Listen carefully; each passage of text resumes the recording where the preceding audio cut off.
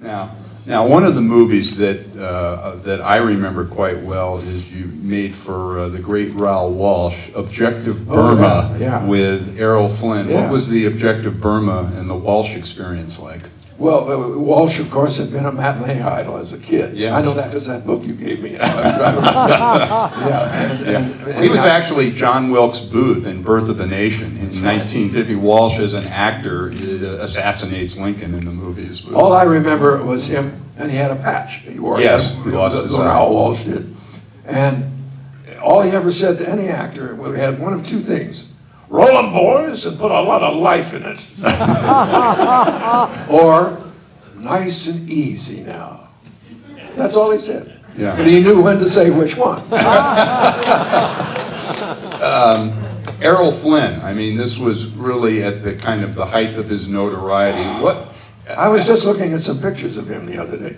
God, he was a good-looking human being. What a gorgeous man he was. Yes.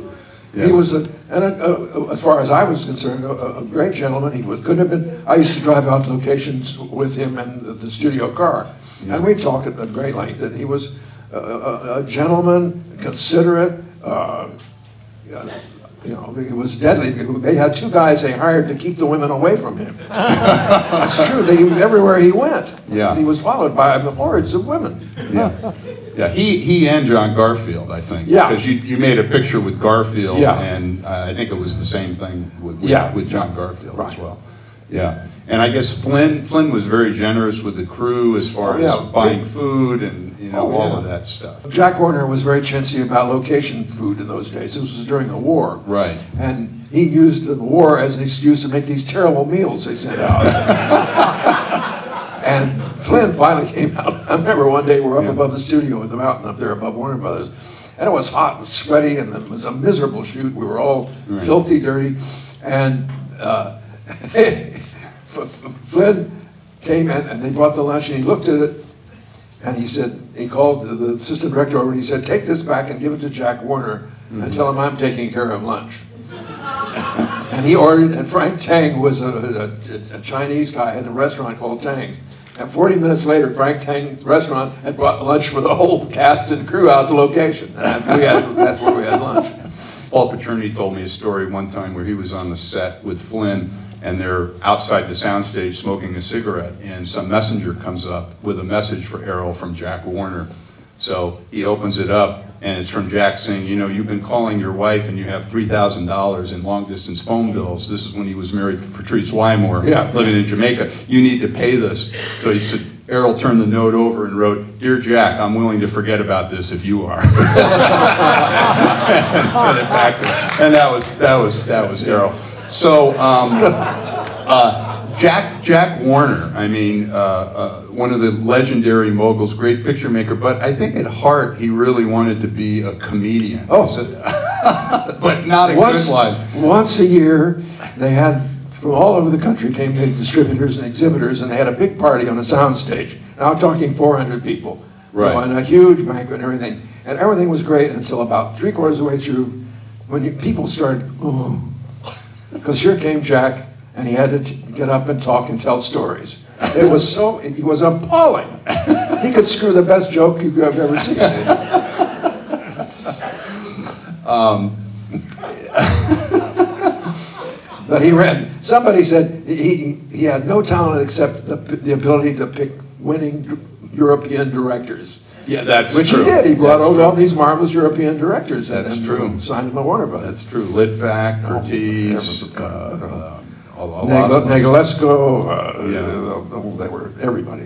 Yeah. Um, let me back up a little bit. You were working at Warner Brothers during the war, and then the war ended, and you were working on a movie. And what was what happened? I it's always been an object of curiosity for me. What happened at the movie studios when the war was over? It's the most unforgettable day of my life. We were shooting, uh, I forget what it was. Anyhow, I was in the stands. They had stands there that, that let audiences in to see some of the shooting. Right. That this was the very first time that had been done, by the way. Mhm. And I was seated in the stands, and it wasn't Curtiz directing it. I forget what it was. Anyhow, we're halfway into a shot, And suddenly the door opened the stage, and Jack Warner came in and said, "We stopped shooting. Everybody stop shooting. The war is over." And we looked at one another. People started screaming. We went outside. People were coming from the offices. People were coming from wardrobe, from makeup, uh, contract players, uh, uh, laborers. Everybody came out in the streets, were screaming and dancing. And finally, at the end of it, I'll never forget, Erich Korngold, that great, great composer, came stomping out of the music building with the whole Warner Brothers Orchestra marching along, playing God Bless America. Oh, what a moment. What a moment. What a moment. Now, you, you, you left Warner Brothers and you got to work with James Cagney. Yes. What was the, the Cagney? I noticed, I noticed whenever we talk about James Cagney, you always call him Mr. Cagney. Yeah. What was that experience like? Well, uh, what can you say? Look at that man's career. I mean, look, Yes. at, look at him. He's, he's, he's magic.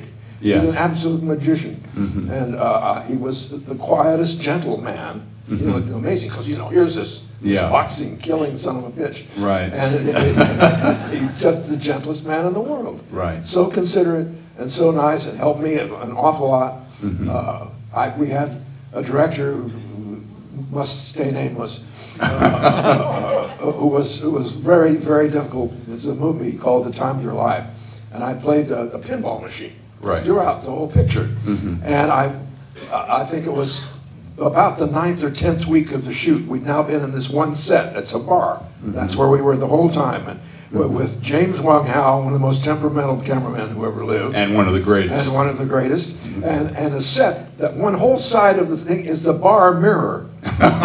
so you can imagine the trouble shooting because every, where you had to move the lights and everything all the time to adjust to that damn mirror. Right. But I, I remember my big scene came and I, I hit the jackpot on, on the machine. All right, so the And machine then goes the crazy, machine goes go crazy. And they, they fixed it like the- fireworks went off. they really rigged that machine, and when, when it went off, everybody applauded and screamed. Right. And I did my, my special little speech, mm -hmm. and the director said, "Cut. That's it." Jimmy Cagney said, "Lunch." And he took me to lunch. Right. And he calmed me down because I was about to flip out there. I was, you know, I- The director sent you through multiple takes. that's right. Yeah. Like 17, 18 takes. It Uh-huh. was, you know, and then, and eventually they used take two. Yeah. But I- it was maddening, and Cagney calmed me down, and uh, could not have been nicer, because you know, it was, it's his picture to begin with, he owned it. Yeah, he was the producer, Right, as right. Dick Powell was the producer of That's right. Danger. That's Yeah, right. Yeah, And yeah. little Sam Wiesenthal, who nobody remembers, but right, produced that right. picture.